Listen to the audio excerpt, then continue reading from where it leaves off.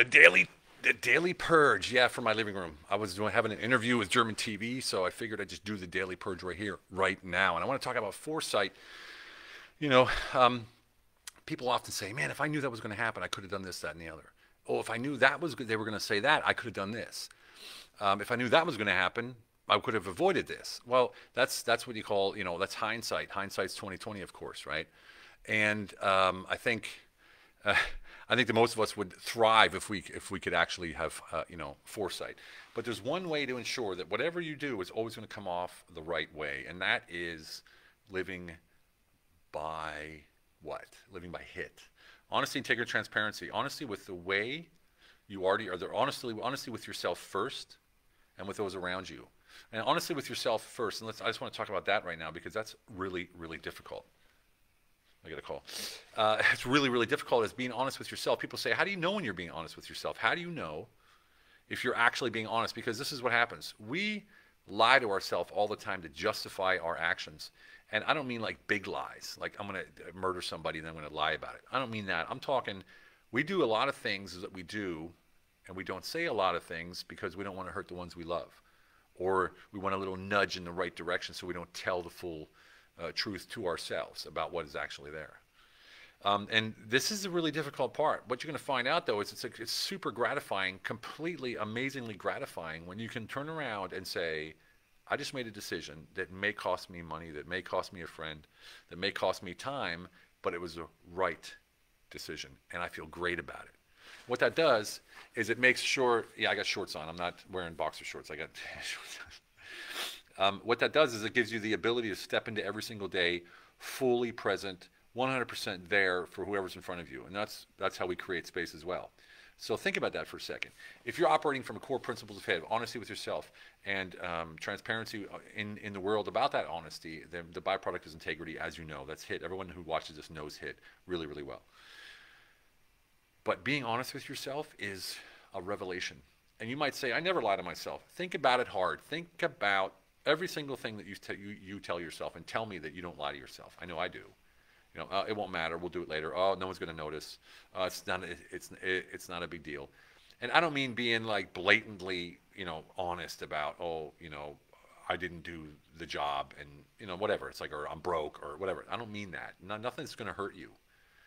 Right? It's about being honest yourself to the point that you have whew, that release. And when you have that release of pressure, bad feelings, bad conscience, or whatever it is, then suddenly you're operating to the outside much more authentic, much more powerful, and much more present.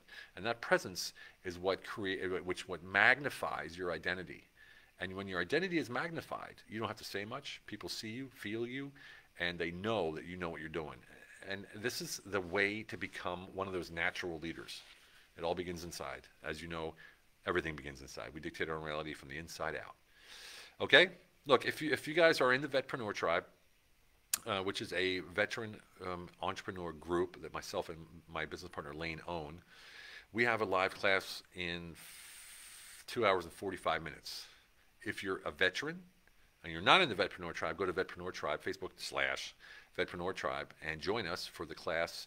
It's called the Business Collaborative Intensive. We're going to talk about collaborations and joint ventures, how you can grow your business, make more money, be more effective, scale your business, right? Create higher higher margins, more revenue, less work, more productivity, easier focus, all these kind of things. We're going to talk about your business for free. Join the tribe if you're a veteran. If you're not, I'm very sorry. We're going to do one soon as well for the civilian sector. You know, but um, we're, we're we're focusing really on the veterans right now, especially right now, because one thing is true, and and and I have to talk about it because diversity, what the whole world's talking about um, in the, in the military, it's it's normal. I mean, it, it's not even like it's not even a question. I remember I was uh, when I was I was in combat arms, meaning I was in, I was in, in, in a combat troop.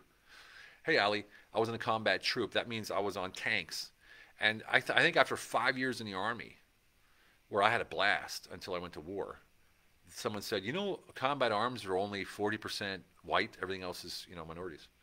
I was like, really? I never even like I never even struck me.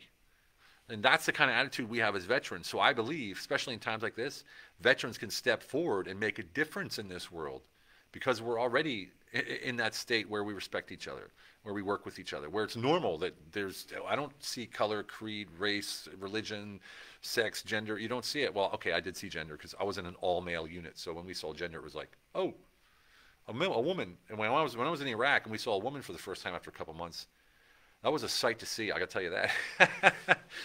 so okay, uh, just, just slipping off the side there a little bit. Okay, so if you're in the Vetpreneur tribe, go check it out. That'd be that'd be fantastic. If you're not in the Vetpreneur tribe and you're a veteran, go ahead and join the Vetpreneur tribe. And um, uh, we'd love to see you there tonight. Otherwise, uh, thanks for tuning in. As always, um, stay tough out there. Stay, stay, you know, loving and caring, and look for look out for those around you. You know, because everyone out there is searching for that one thing. And what is it? That's quality of life, right? Quality of life. We all want it. Help others get it, and you will have it too. Okay, everybody, have a fantastic one, and we'll see you tomorrow.